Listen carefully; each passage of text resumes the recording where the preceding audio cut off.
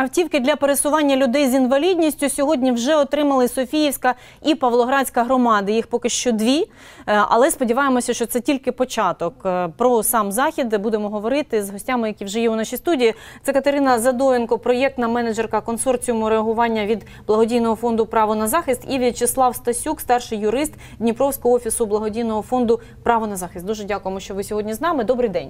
Добрий день. Е, Отож, сьогодні дві громади отримали такі автівки. А чому ви вирішили забезпечити саме ці громади автівками? І, взагалі, то розкажіть про той захід, що люди отримали сьогодні. Да, дякуємо за можливість висвітлити е, цю подію, бо ми хочемо, щоб більше людей, більше е, е, громад знали, що в нас є такі можливості, і ми в подальшому співпрацювали, і більше людей е, скористалися цією послугою, яка зараз буде е, надана в громадах, а саме послуга соціальне таксі. Так сталося, що у вересні минулого року благодійний фонд право зас- на захист увійшов в консорціум реагування. Це консорціум реагування, це колаборація багатьох гуманітарних організацій, основною метою якої є надання е, гуманітарної допомоги мешканцям е, України, які постраждали від війни. Е, Ми цей проєкт успішно реалізуємо сьогодні. До речі, останній день цього проєкту з вересня. І в нас було шість мобільних груп, які працювали в громадах Київської області, в громадах е, на Буковині і в Дніпропетровській області. Ми мали ми мали дві мобільні групи, яка одна працювала в Криворожському напрямку, а інша в Павлоградському. В рамках реалізації цих активностей наші фахівці надавали не тільки психосоціальну підтримку, юридичну підтримку, а Здійснювали також е, соціальний супровід. Ми закупили автомобілі в рамках реалізації проєкту, спеціально їх переобладнали для потреб осіб з інвалідністю, для потреб маломобільних людей. Тобто, простими словами, це встановили такі спеціальні електричні підйомники е, позаду автомобіля. Тобто, людина, яка на візочку, вона не мусить якось там з е, сторонньою допомогою пересуватися, залазити в цей мінівен, да, здійснювати якісь зайві рухи. Вона просто під'їжджає на візочку позаду автомобіля, і підйомник її підіймає, фіксуються спеціальні ремені безпеки, і людина може від, ну, їхати туди, куди е, їй потрібно. Ну це зручно досить таки, так? Да. А е, взагалі таких автомобілів немає, які були би спеціально призначені для людей з інвалідністю. Ви знаєте, ми шукали, е, ми шукали, бо закупівля в нас звісно відбувалася на абсолютно прозорих процедурах. Це був тендер. Ми не змогли знайти. Нам простіше було купити звичайний автомобіль і потім його переобладнати. Е, І, на жаль, ну через е, ту ситуацію, яка зараз відбувається в Україні, небагато підприємств готові були надати цю послугу. Ми замовляли цей підйомник е, з Німеччини і встановлювали його вже в цю автівку. Угу.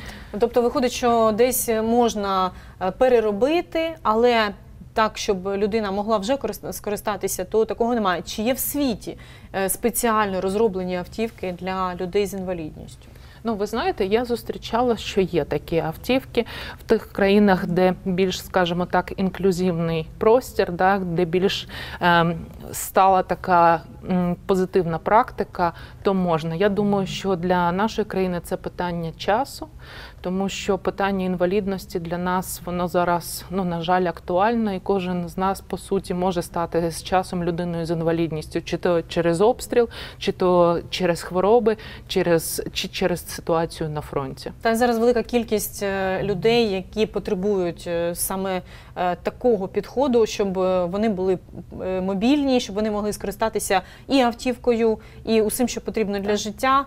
Е, Про це ми давно вже говорили, але, е, мабуть, так масово ось це питання е, повинно вирішуватися вже зараз, тоді в той час, коли це вже конче необхідно. Це дуже зараз важливо.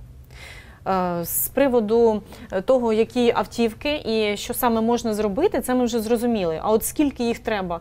Е, Дві це, мабуть, дуже мало. Скільки автівок ви могли би, наприклад, от як, як можна забезпечити? Я розумію, що сума велика і все інше. Ось і зробити їх не так просто, але все ж, от чи ви Так, знаєте, вартість однієї автівки становить понад 2 мільйона гривень. Це велика сума. І ну далеко-далеко не кожна громада може собі це дозволити.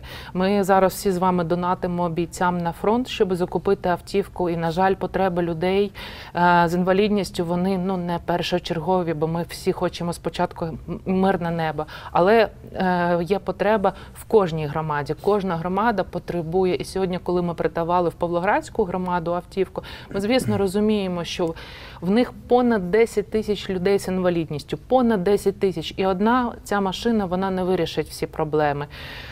Зараз ми віддали все те, що в нас е, є, але е, проект буде продовжуватися, і ми будемо закупляти ще автівки і намагатися задовільнити якомога е, більше проблем. Ну і звісно, громади зі свого боку вони роблять все можливе для того, щоб також за допомогою і інших партнерів отримати такі можливості. Пригощайтесь, будь ласка, нашим фрешем. Дякую. А я хотіла ще запитати: ось справді люди зараз потребують і уваги, і потребують юридичних додаткових послуг.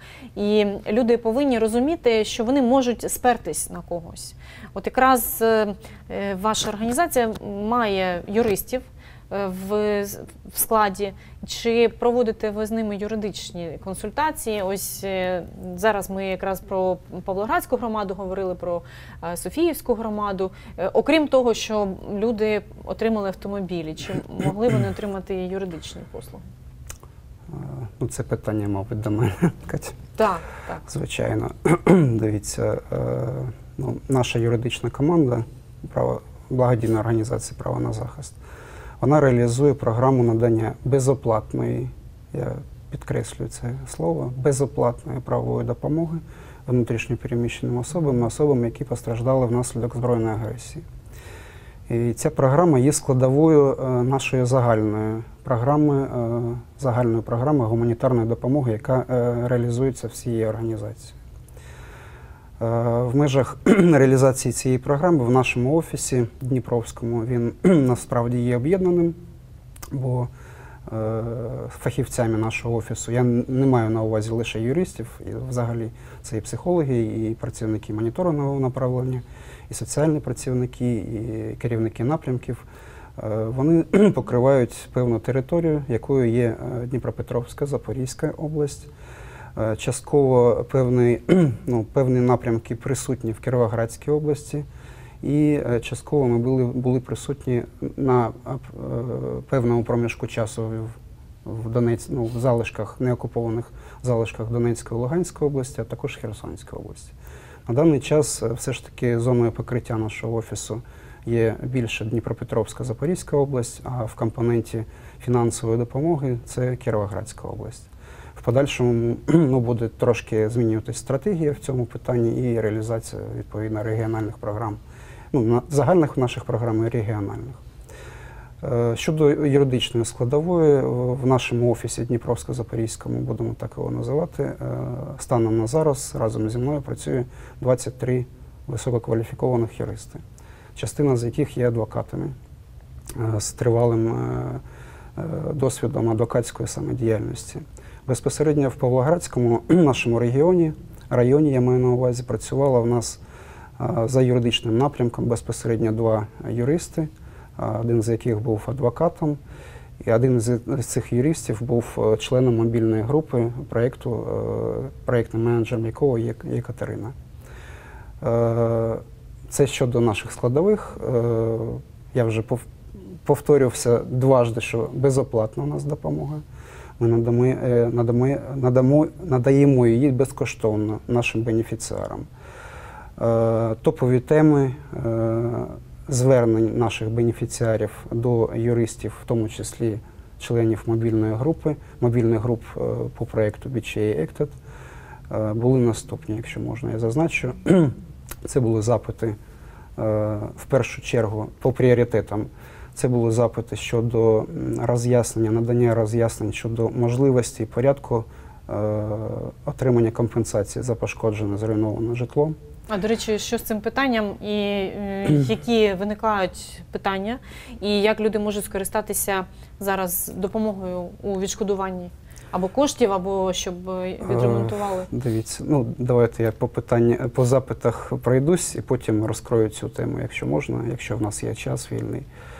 Значить, е, перше пріоритетне, е, по пріоритетам перші, е, на першому підесталі у нас запити були названі мною щодо надання роз'яснень щодо порядку і можливості взагалі отримання компенсації за пошкоджене зруйноване житло на тимчасово окупованих територіях, деокупованих територіях, на територіях населених пунктів, пунктів, е, які знаходяться в зоні активних бойових дій, або безпосередньо в наших населених пунктах, які підвергаються ракетним обстрілам.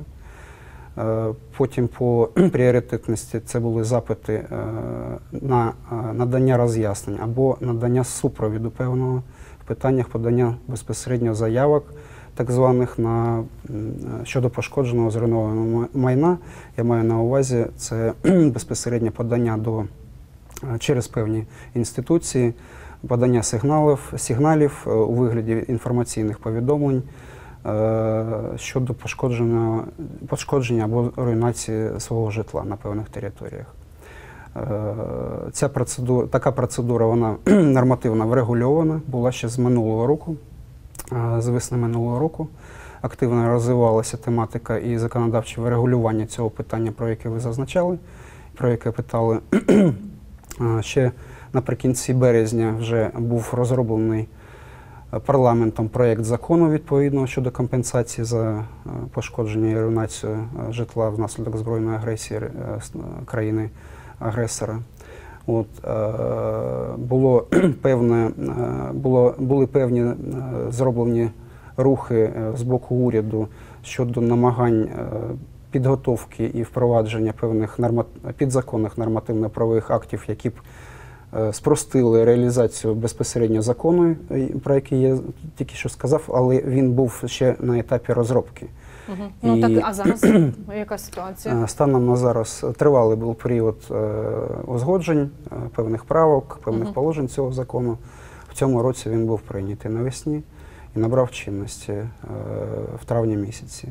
Задля реалізації безпосередньо закону потрібні були е, підзаконні нормативні акти, бо закони так не працюють, і Конституція так не працює, що от лише є положення певних законів, і вони повинні певним чином реалізовуватися, особливо Ну, це ж знаєте, особливо в питаннях юрист- пенсійного, так, соціального це важливо, а людям, яким потрібно відшкодовувати Да, гроші станом, за станом на сьогодні вже, роз, вже розроблені і є діючими відповідні постанови Кабінету міністрів, які е, реалізовують закладені, покладені в положеннях закону норми щодо захисту прав законних інтересів наших громадян, які постраждали внаслідок пошкодження і руйнації цього житла.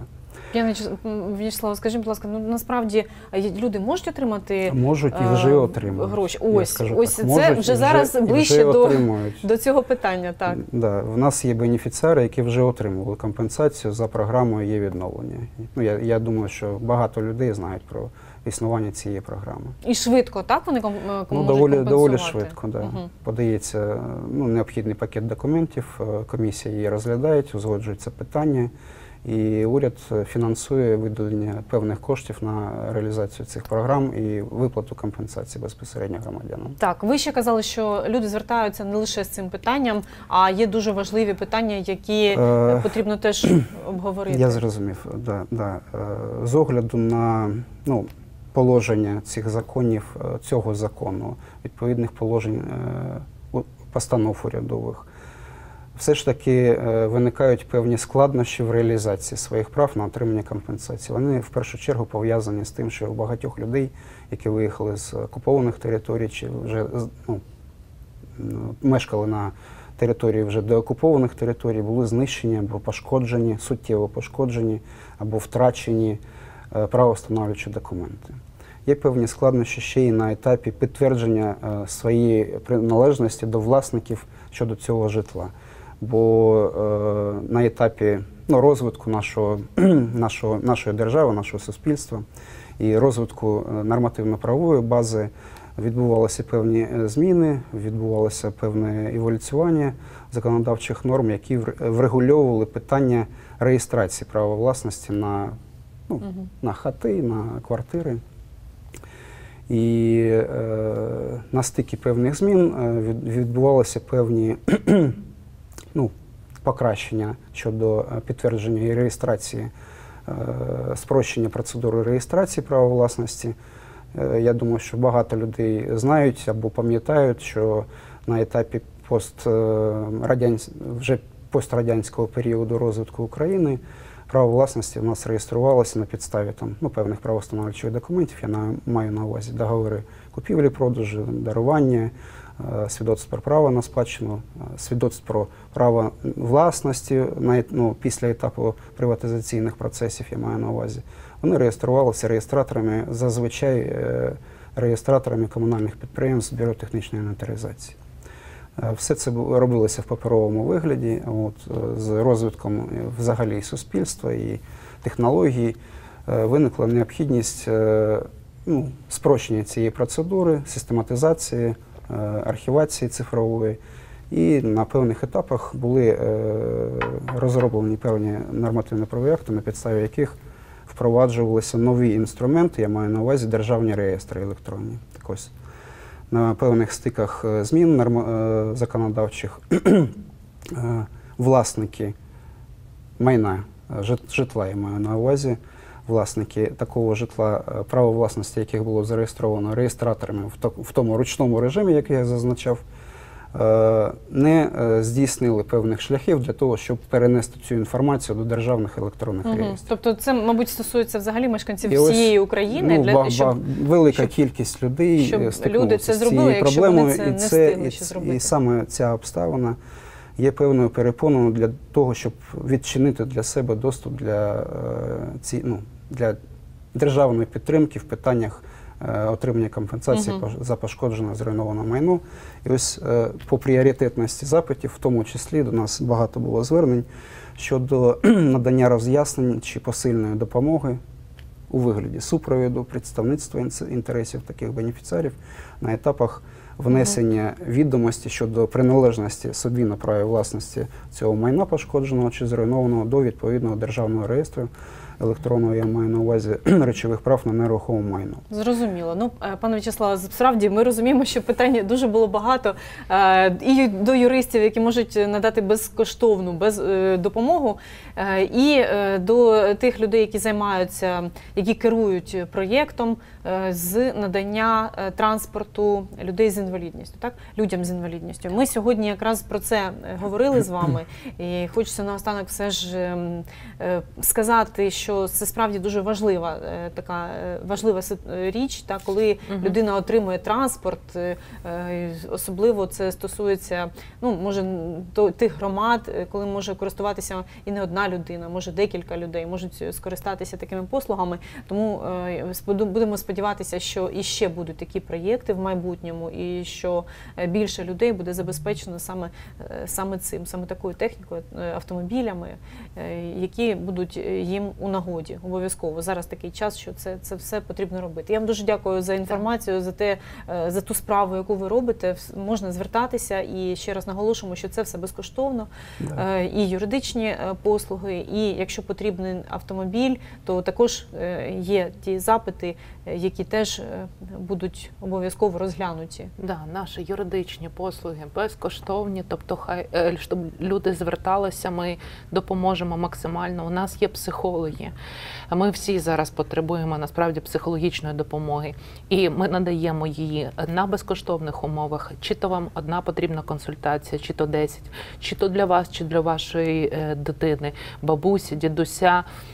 Можливо, вам потрібен соціальний супровід. Ви не знаєте, як оформити там довідки, як потрапити до соціального центру. В нас е, все це є. Ми закликаємо людей до нас звертатися. У нас в Дніпрі е, є офіс, і наші мобільні групи продовжують працювати Павлограді і в Кривому Розі. Тобто можна звернутися, отримати консультацію. І, звісно, за рахунок того, що вже автомобілі передалися, можна звертатися безпосередньо до громад, управління соціального захисту, територіальних центрів надання соціальних послуг, де можна отримати послугу соціальне таксі у разі потреби. Ось так. Дуже вам дякую е, за цю інформацію, за те, що ви робите е, зараз в Україні. Це велика справа для тих людей, які не мають можливості е, більше нічим скористатися. Це була програма Фреш. Ми виходимо з понеділка по п'ятницю о 13.30, і ви завжди можете побачити наші випуски у Ютубі. До побачення.